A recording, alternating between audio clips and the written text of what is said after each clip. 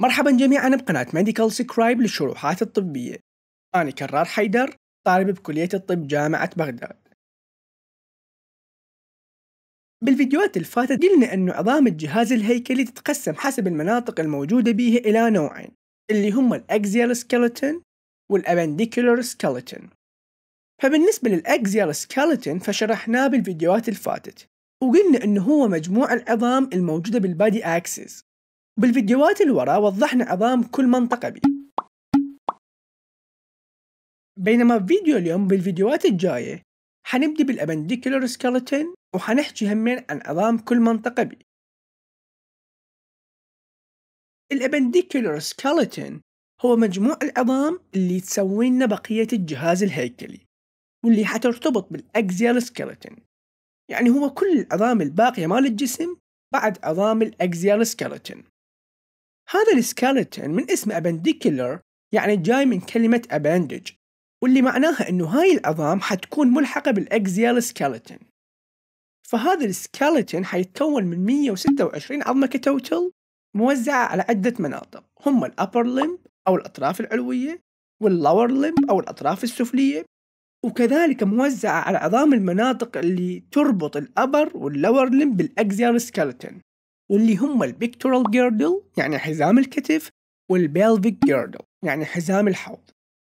وخلوا ببالكم إنه عظام ال appendicular skeleton حتتمفصل وترتبط ويا بعض بواسطة عدة أربطة وغضاريف وأوتار.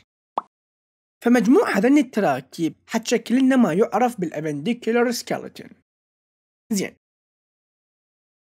هسه حنجي نتعرف على العظام اللي تكون كل منطقة من المناطق الأربعة ذني بشكل عام.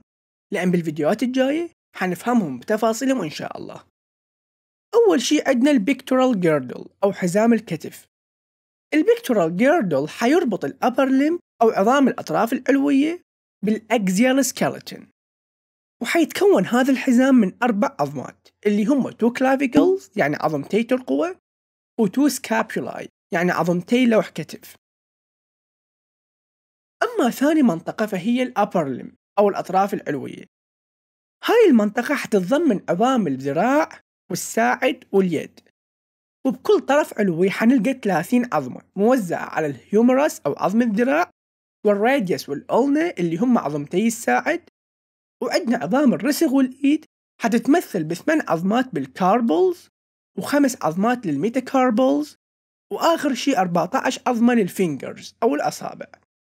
فهاي بالنسبة لل upper limb ثالث منطقة عندنا هي ال pelvic girdle أو حزام الحوض واللي شائع أن يسموها ال hip. هذا الحزام هو المكان اللي حيربط ال lower limbs أو الأطراف السفلية بال axial skeleton. فهنا كل hip حيتكون من ثلاث أجزاء اللي هم ال ilium وال ischium وال pubis.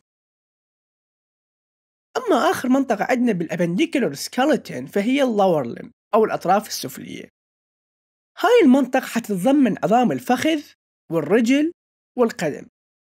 وكل طرف بيهم هم مثل ال upper limb حيتكون من 30 عظمة وموزع عدن ال 30 عظمة على ال femur أو عظمة الفخذ وال patella أو الرضفة وال tibia وال fibula اللي هم عظام الرجل.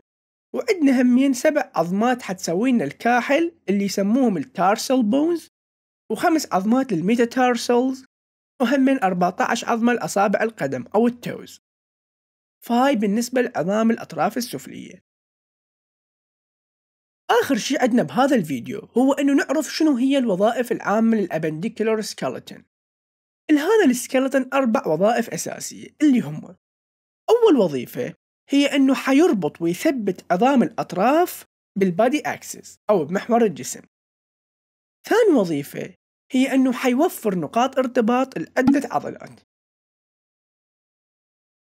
بينما ثالث وظيفة عندنا هي أنه عظام ال appendicular skeleton على عكس ال axial skeleton تكون ما مندمجة ولا ملحومة.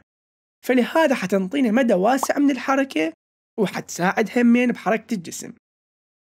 آخر وظيفة عندنا هي أنه ال appendicular skeleton حيحمي بعض الأعضاء الداخلية المهمة مثلا الأعضاء التناسلية.